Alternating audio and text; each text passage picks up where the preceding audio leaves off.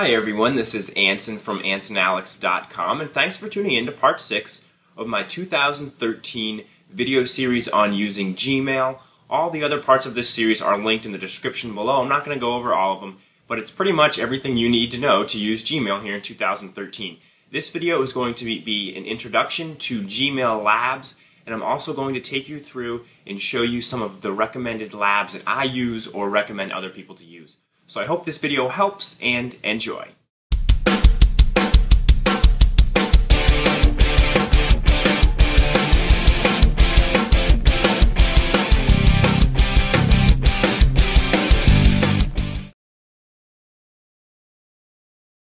In order to access the Labs section of our Gmail account, we need to go up to the right side of our screen, click on the gear icon, and then go ahead and access your settings. From your Gmail settings, you'll notice that the third to last option is Labs.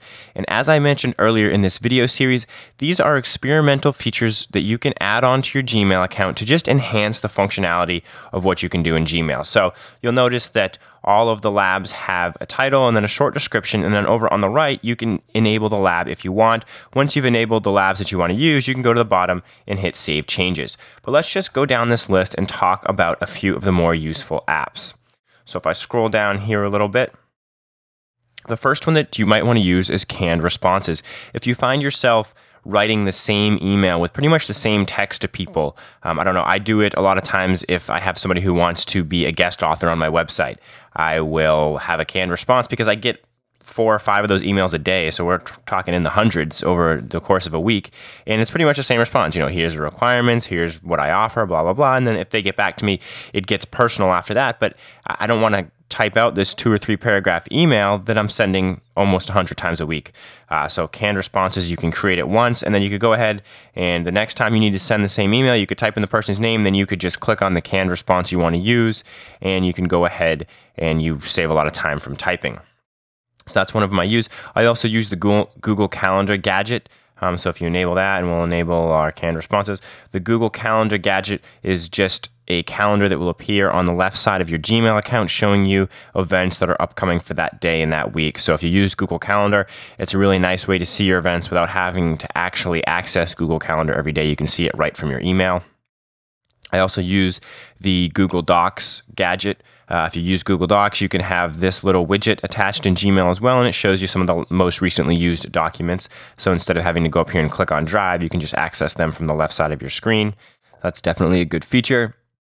Scrolling down here, the mark as read button. A lot of times I have emails that I know what they are. I, I don't want to take them out of my inbox yet. Um, but I don't want to have to click and open it to mark it as read. I just want to check mark four emails at once and then hit the mark as read button so that they're all marked as read. So that's a pretty cool feature as well. Multiple inboxes, you can enable this lab if you want, but you'll notice that we also have the inbox options in the Gmail settings that I went over earlier in this video series. So you can take a look at the Gmail settings tutorial if you're more interested in that. Scrolling down here, uh, the preview pane uh, I have played around with this. It can make it so that you have your email, you know, on the top here. When you click on one, you can still see your list of emails, but then you can actually preview your full email. I actually don't like this lab, but a lot of people do. Uh, I've tried using it, and it's just it's a little too much information for me. I like to be able to click on an email and actually just see that specific email.